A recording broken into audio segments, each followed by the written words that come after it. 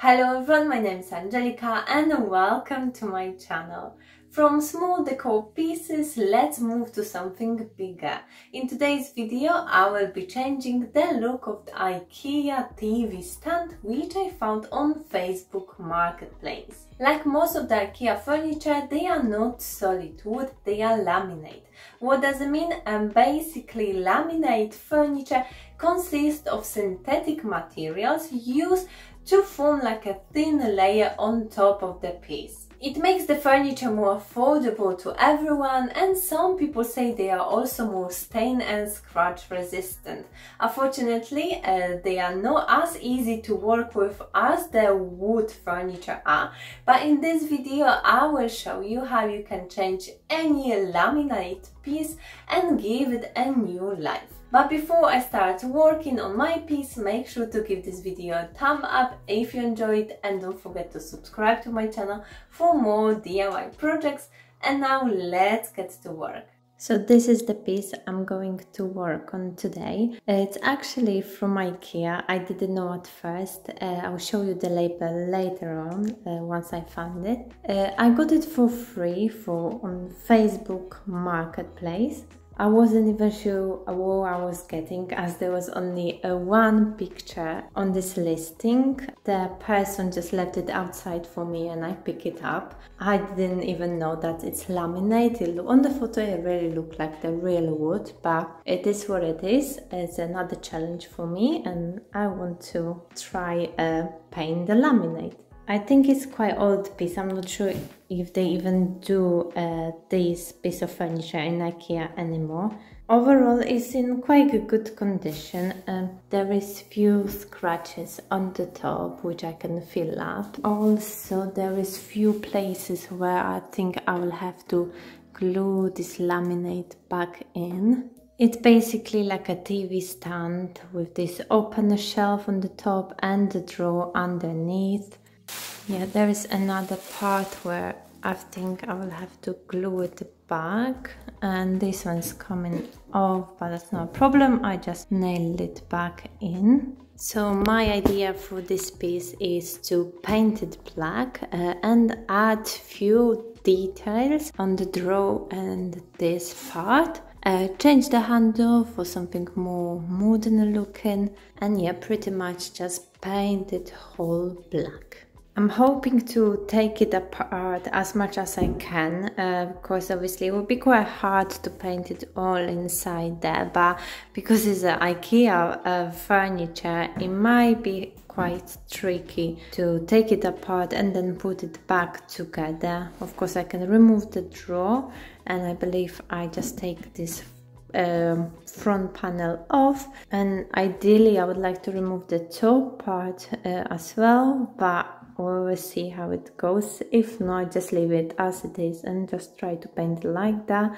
uh, I will remove it I put it a bit higher from the floor for the easier work as I've said before, I start with taking this piece apart. I unscrew the handle and remove the rest of the drawer. I will change this one for something more modern, but I will save this one and might use it in another project. When it comes to taking IKEA furniture apart, you have to be very gentle. They don't really like when you touch them too much. There is similar mechanism in most of IKEA pieces. To separate two pieces, you have to turn the screw to the position where the little triangle points opposite direction to the piece you try to remove. Once the front panel of the drawer is removed, I take all the screws away and put them in the safe place. Removing the top was actually easier than I've thought. I again turn the screws and then gently lift the top. I was glad I was able to do it as this will make the painting so much easier. First step in the process of painting laminate furniture is to clean it very well. The best method is to use degreaser and cloth. I go around the whole piece making sure I haven't missed any spot. Then I took another clean wet cloth and almost washed off the degreaser spray. Now you can see it's an IKEA piece. I've tried to look online and I think they don't do this line anymore. Using super glue I glue all of the laminate pieces which are sticking out or are broken.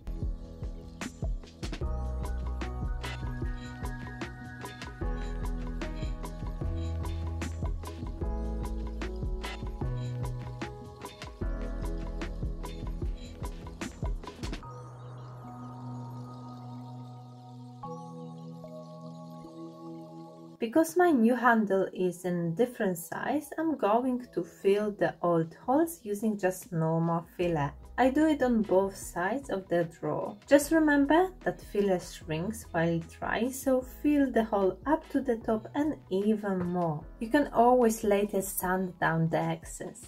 And I've also filled the scratches at the top part of the cabinet. The primer I'm going to use later claims that sanding is not necessary before applying it. Because it's my first laminate project, I want to make sure everything will go the right way and the paint will stick nicely. That's why I've decided to sand down my piece. I'm using 120 grit sanding pad and with circular movements I remove the gloss from the laminate. You can use sander if that's easier, just be careful to not tear the laminate. You only want to sand the gloss off. With the wet cloth I clean off all the dust. I do it to each part of this furniture which I'm going to paint.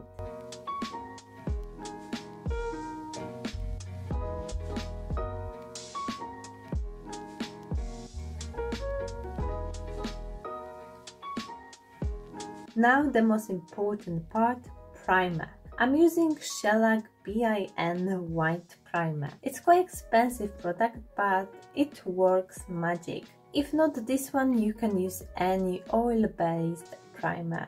It's important that it's oil based. I shake it and pour it into my tray which I've layered with foil. This primer requires you to clean all the tools you have used with white spirit or any other special cleaner. That's why I've put the foil around the tray and I also use cheap roller from Poundland which I can throw away later. I think applying it with roller is just so much easier and quicker. Be careful as the primer is very runny and at first it looks like it doesn't stick to the surface. But just continue rolling and rolling once you see it sticks and covers.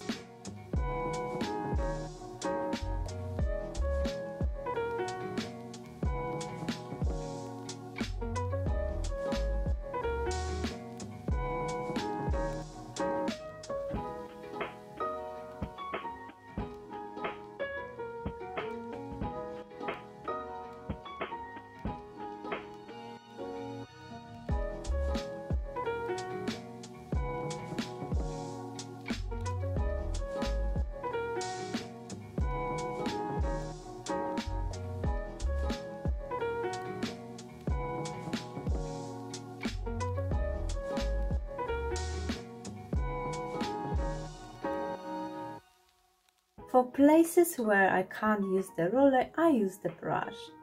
I know I should do all this outside, but what can I do when I live in the country when half of the year looks like this? But I keep the windows open for good airflow. You can also use the mask for better protection.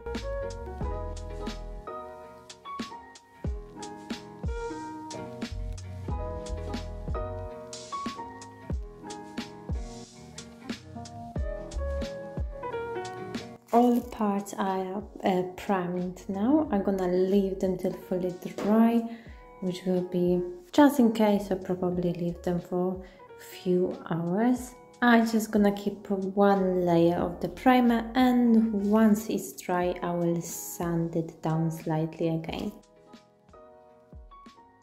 to make the final paint stick even better, I slightly sand the primer. I'm using 220 grit sanding pad, which is very fine. I cleaned off the dust and now they are ready to be painted. For my paint I'm going with black water-based quick dry satin finish. It's the same paint I've used in one of my previous videos where I was upcycling the rattan chairs. I stir it well and pour into my tray. To apply it, I decided to use better quality roller. It's again just easier and quicker way of painting, plus it doesn't leave the lines like brush does. First coat is never perfect, especially on this primer, so don't be scared if the first layer looks like mess. This paint is really good for furniture. You don't need to varnish on top of it and it's still stain and scratches resistant. I was able to get nice coverage after two layers of this paint.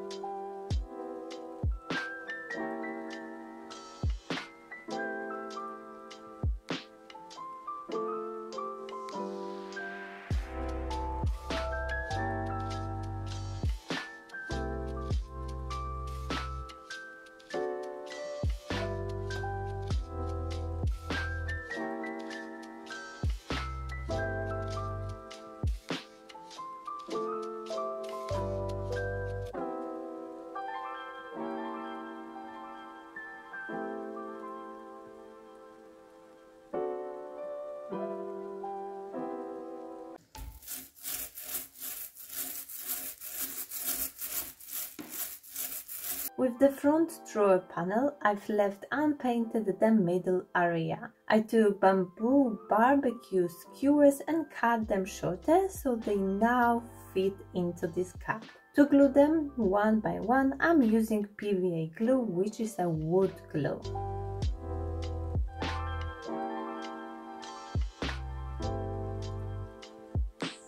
I make sure the sticks are nicely tight and this way I cover the whole surface.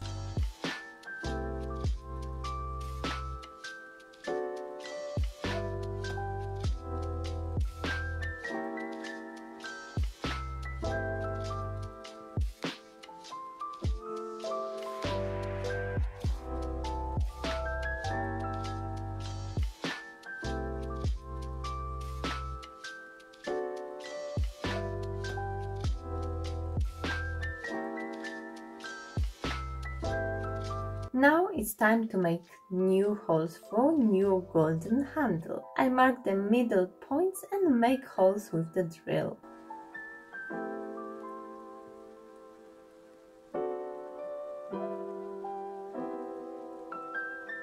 I put all the pieces back together and my new IKEA laminate TV stand is ready.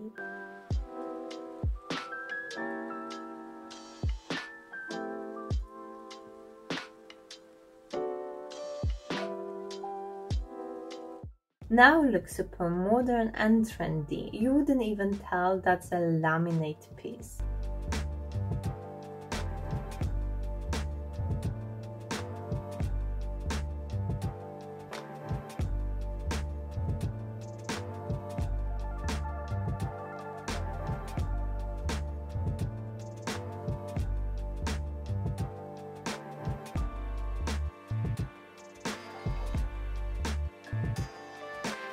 I of course made a test and paint sticks perfectly, very hard and scratch resistant.